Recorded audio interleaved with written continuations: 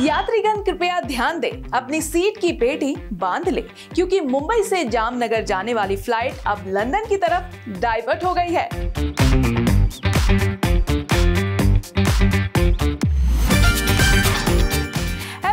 This मी गार्गी और आप देख रहे हैं श्रेष्ठ भारत। कुछ समझे कि नहीं समझे? नहीं समझे तो आपको बता दें कि इस बार लंदन में लगेगा ठुमका।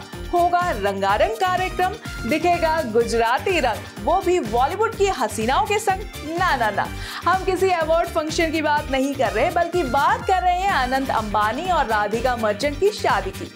जो इस बार होने वाली है कहा? चलिए बताते हैं आपको। जिस घड़ी का था, सबको इंतज़ार, वो घड़ी आ गई। अनंत अंबानी और राधिका मर्चेंट की शादी की डेट तो नहीं, पर डेस्टिनेशन ज़रूर तय हो गई है। इस बार गुजरात में नहीं, बल्कि सात समंदर पार सजेगी महफिल, वो भी लंदन में। फिर से मुंबई से उठकर सितारे पहुँचेंगे लंदन। जी हाँ दुनिया का one of the richest man Mukesh Ambani ने अपने बेटे की शादी के लिए डेस्टिनेशन लंदन रखी है। It is said that Stoke Park estate will be hosting one of their functions ये एक ऐसी प्रॉपर्टी है जो इंग्लैंड के बिस्टल में मौजूद है और 108 हेक्टेयर में फैली हुई है। 1581 में ये रानी एलिजाबेथ प्रथम का घर हुआ करता था और 1908 तक ये उनका घर रहा। इसके बाद इसको क्लब में तब्दील कर दिया गया। यूके का ये सबसे पुराना कंट्री क्लब है। आपको बता दें, तमाम हॉलीवुड की फ़िल्में, जैसे कि James Bond film Goldfinger Tomorrow Never Dies को इस प्रॉपर्टी पर फिल्माया गया था। अरे भाई, अंबानी के घर की शादी है। वो चाहे तो इस शादी के लिए पूरा का पूरा लंदन बुक कर सकते हैं। स्टोक पार्क कौन सी बड़ी चीज़ है? क्यों? है ना? खैर, ये तो बात हो गई शादी की। गाना बजाना, यानी कि संगीत कहाँ होगा, वो भी बता देते हैं आपको।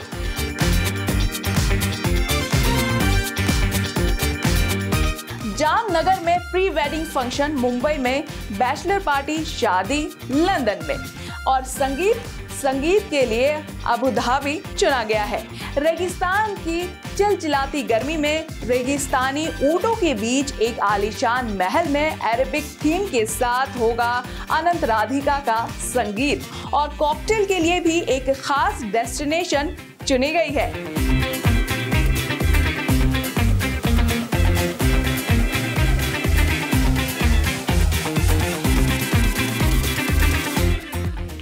थोड़ा ज़्यादा हो गया, ये तो मैंने अपने मन से ही कह दिया। वेल अबू धाबी में ये ही बेस्ट है, इसीलिए लगा शायद इसी का तड़का लगेगा।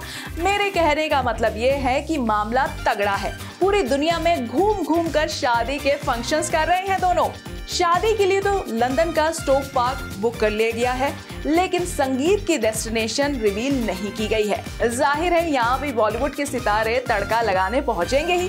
अब मोदी जी चाहे जितना भी चीख चीख कर बोल ले कि विदेश छोड़ो, भारत में ही कर लो शादी, उन्होंने तो वेड इन इंडिया का नारा भी दे दिया। खास करके देश के धन्ना सेठों को मैं कहना चाहता हूँ, अमीर लोगों को कहना चाहता हूँ, मिलियनर, बिलियनर से कहना चाहता हूँ। हमारे यहाँ माना जाता है, कहा जाता है, जो शादी होती है ना, वो जोड़े ईश्वर बनाता है। ईश्वर तय करता है जोड़ा। मैं समझ नहीं पा रहा हूँ, जोड़े जब ईश्वर बना रहा है तो जोड़ा अपने जीवन की यात्रा उस ईश्वर के चरणों में आने के बजाय विदेश में जाकर के क्यों करता है?